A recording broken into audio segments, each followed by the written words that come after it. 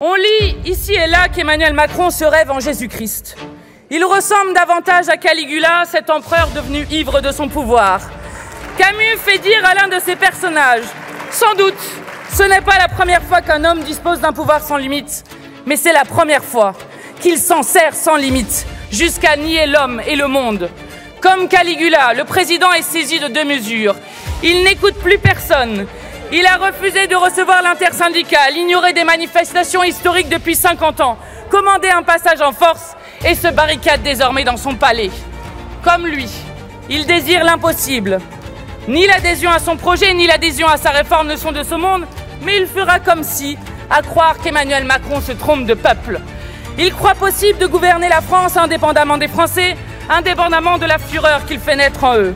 Comme lui, il confond la postérité et le ridicule, comme s'il semait la colère et le dégoût dans le pays avec quelque chose d'autre.